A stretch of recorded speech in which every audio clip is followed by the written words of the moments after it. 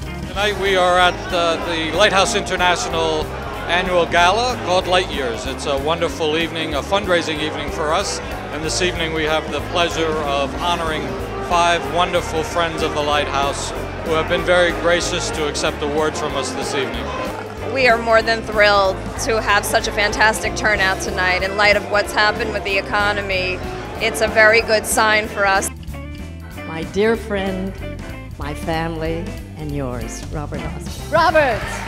Being honored tonight, which I'm very flattered by, and also I'm very, uh, very aware and uh, kind of in awe of what the Lighthouse does for so many people. And uh, it's such a special night, and uh, we've said so much about the Lighthouse, but it really touches our heart, and uh, to share this with you tonight. Thank you. Well, tonight's event is a, is a great celebration of all the great work that the Lighthouse does throughout the year. And my wife and I, Chloe, are thrilled to be able to help participate and make this a successful fundraiser. It was a privilege to visit and spend time at the Lighthouse and to see firsthand the tremendous work being done there. And you realize when you see those children and those adults and what we can do for them there, it works and it works really well. Uh, among other things, it serves to remind us that everyone has a value.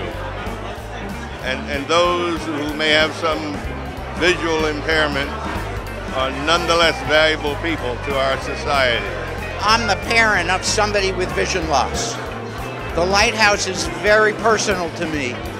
Solving the problems created by vision loss is very personal to me.